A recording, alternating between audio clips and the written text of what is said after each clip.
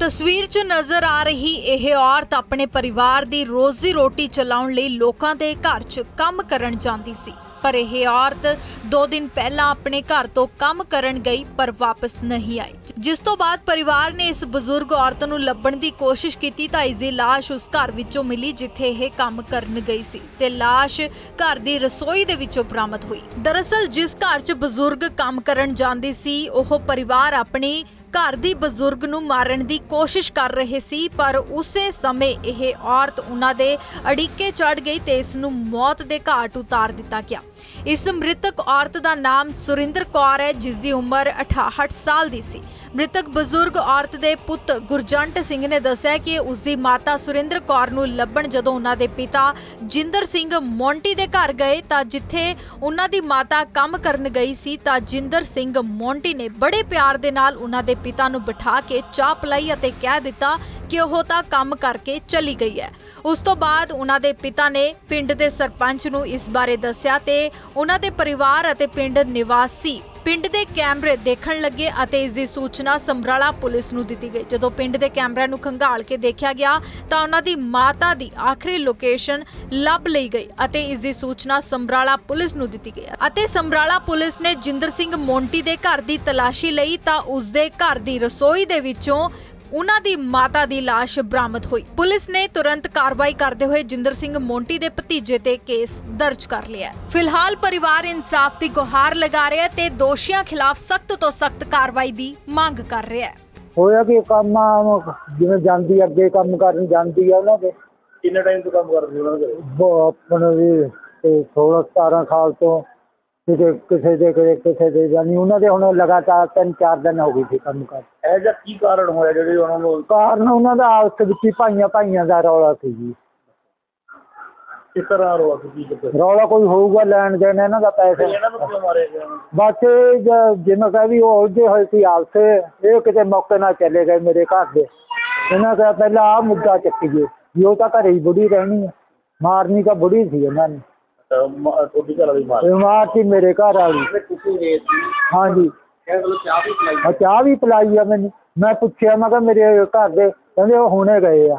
ਮੈਂ ਜਦ ਆਪਦਾ ਫੋਨ ਕੱਢਿਆ ਲਾਇਆ ਜਦੇ ਨੰਬਰ ਉਹਨਾਂ ਦਾ ਬੰਦ ਆ ਉਹਨਾਂ ਦਾ ਤੇ ਕਿੱਥੋਂ ਪਤਾ ਲੱਗਿਆ ਵੀ ਉਹਨਾਂ ਦੇ ਘਰੇ ਹੀ ਨੇ ਉਹ?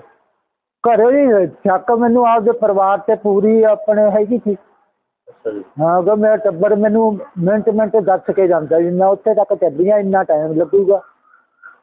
ਇਹ ਫਿਰ ਡੈਡ ਬੋਡੀ ਦਾ ਕਦੋਂ ਪਤਾ ਲੱਗਿਆ ਤੁਹਾਨੂੰ? ਤੇ ਇਹਦਾ ਤਾਂ ਸਾਨੂੰ ਰਾਤ ਪਤਾ ਸੱਚ ਕੀ ਬੰਦ ਕਰਦੇ ਹੋ?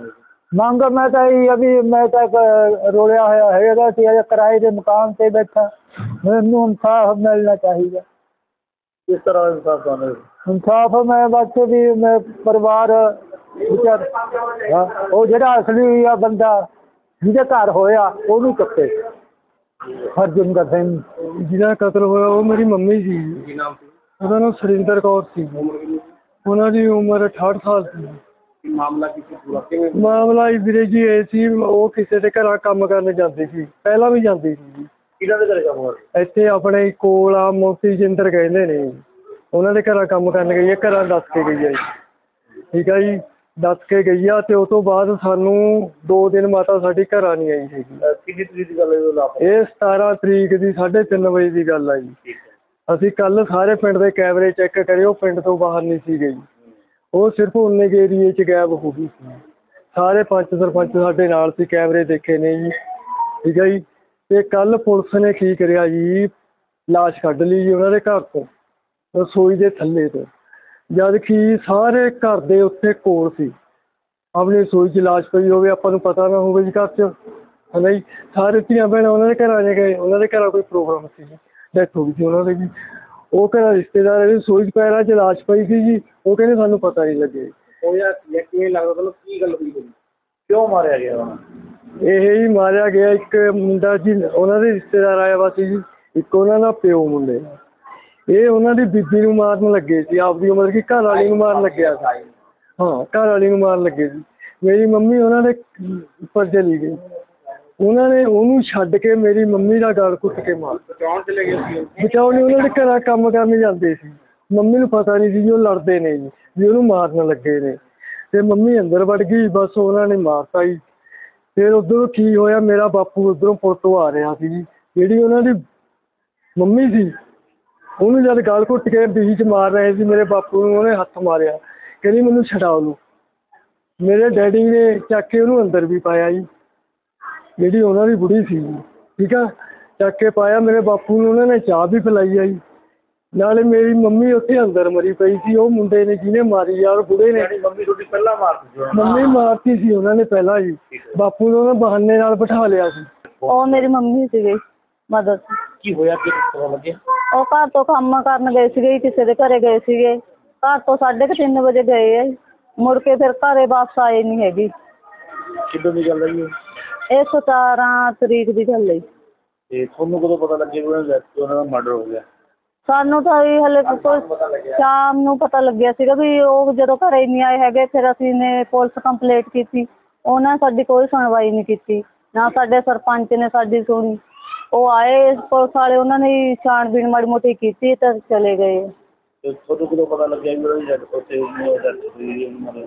ਜਦੋਂ ਹੁਣ ਦੋ ਦਿਨ ਘਰੇ ਮੰਮੀ ਆਏ ਨਹੀਂ ਹੈਗੇ ਫਿਰ ਕੱਲ ਫੇਰ ਆਏ ਪੁਲਿਸ ਵਾਲੇ ਰਾਤ ਨੂੰ।